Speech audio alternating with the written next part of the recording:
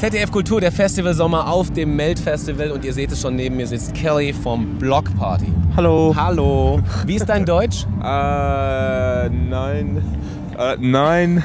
Nine. I, I, I don't. I don't speak. I don't So, speak any German. Quite good, thanks. Thanks. Well, well, I mean, w- there was the option in my school of doing French, German, or Latin, and I did French and Latin. So, uh, so I don't know. Well, Latin was useless, but German would have been a lot more useful.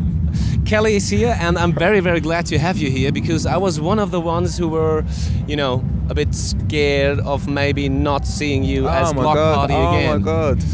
Oh, Were what? you scared as well? Was I scared? No, I, I, I- wasn't scared, scared because everything must come to an end. You know, everything must come to an end. Uh, and and if it had have been a time to end it, I wouldn't have been scared. No, because it would have been the start of something else. Uh, but no, I wasn't scared. But luckily, it isn't the end anyway because we've made a new record and we're going to be promoting it for at least a year. So So there's a new album coming up um, called Four. Hmm. It's going to be there out there in August.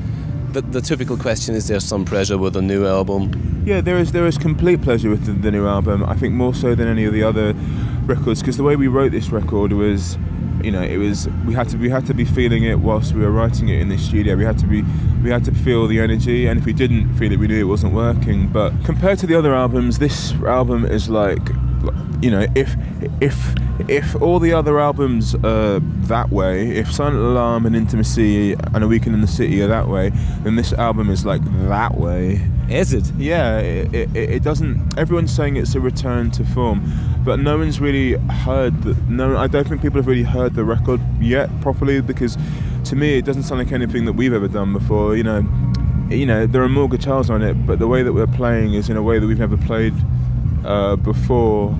It feels like, you know, it feels like we've turned a different corner. You know. The official Melt hymn is by Bloc Party. It's a remix of Octopus. Yeah, the official. The official.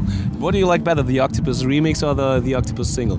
I mean, I mean, it's hard. I mean, it's always interesting with remixes because, you know, somebody takes mu- some music that you're very familiar with, and they, and they, you know, and they reimagine it. They revise it in a way that you kind of recognise, but but don't.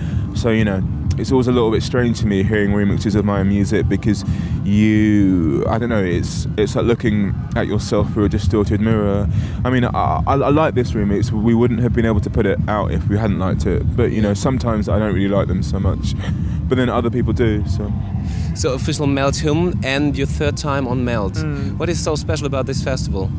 I mean, it's awesome. I mean, there's always something interesting to to go and see that you know that I actually want to see rather than.